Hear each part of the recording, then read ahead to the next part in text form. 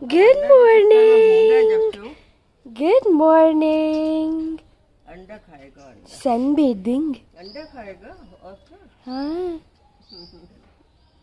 कल ने खाना नहीं खाया?